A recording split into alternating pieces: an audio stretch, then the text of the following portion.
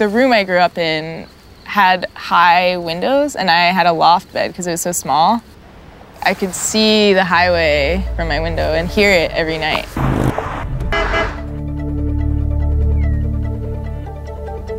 Definitely nothing like where I live now.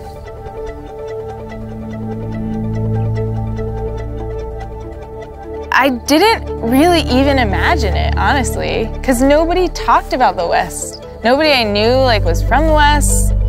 I was like, how did nobody tell me about this? Nobody told me about this growing up. This is insane.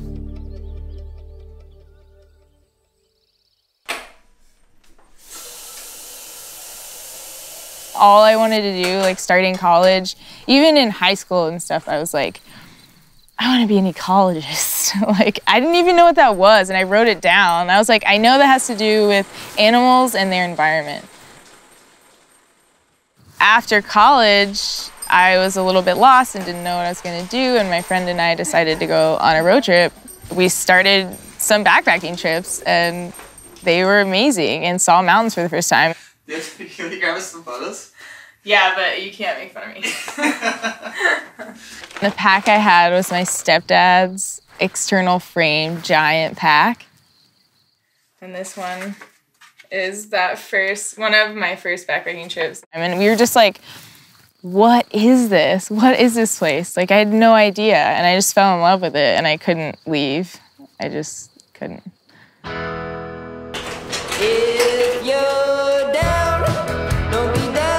I would tell people I just want to be Jane Goodall and live in the rainforest, learn about the world myself, not just from reading or watching movies, but like actually figuring it out.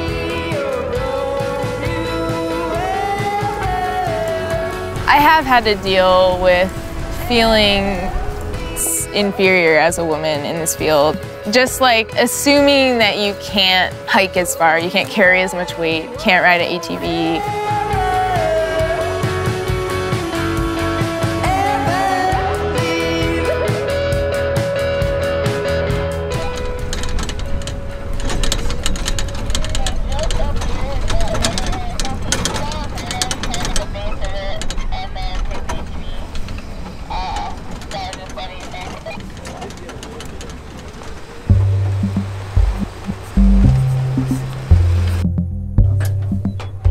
The Sage Steppe ecosystem, so the ecosystem we're in right now, um, is one of the most heavily imperiled ecosystems due to these multiple increasing anthropogenic impacts.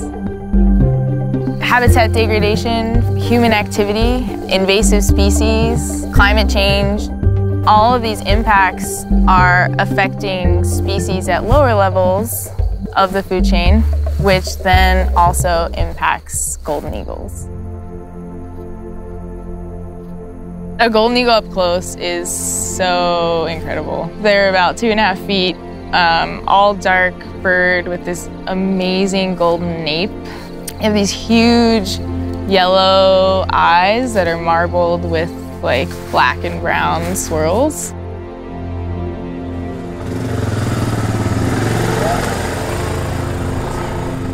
What we're trying to figure out is how these impacts are working together. So how is eagle reproduction and productivity affected by the changes that are made in this ecosystem by human impacts.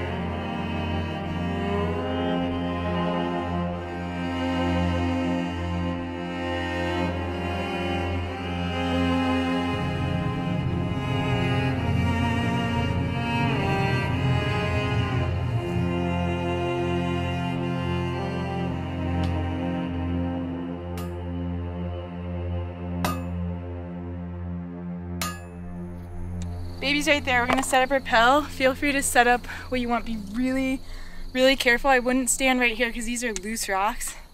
Um, and that could kill the baby. But the baby's right there. There's a baby bunny right there too. They're so calm and just like calming to you. You're just like in awe of their presence, but also like know that as long as top predators exist, something's going right in the ecosystem.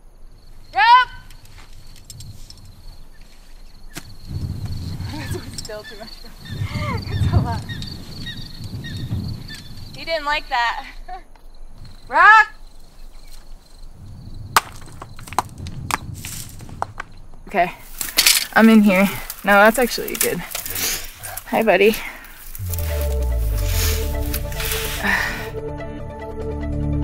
Barn owl, a mallard. This, I'm gonna look in his mouth. Oh man, he does have trich. My dad called me today when I was in the nest. I don't know if you guys heard that, but I was just like, I have to answer this real quick just to tell him, like, hey, I can't talk, I'm in the eagle nest, because I hadn't talked to him in a little while. And I was like, hey, I'm in the eagle nest. He was like, oh, okay. Like, I don't think he really knows how crazy, like, if he was watching, he'd be like, oh my God, this is the craziest thing I've ever seen. But because he's like, oh, this is normal, my, my daughter does weird things in places I've never seen and I don't know about, so it's just like out of sight, out of mind kind of thing. He's like, oh, oh yeah, she's an eagle nest, whatever. But if he actually saw it, it would be like,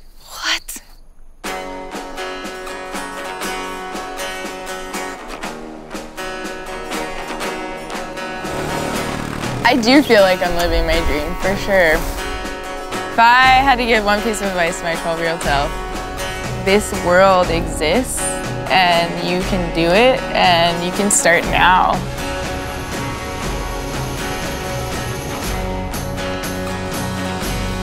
The women that came before us had to overcome a lot more and they kind of paved the way for us.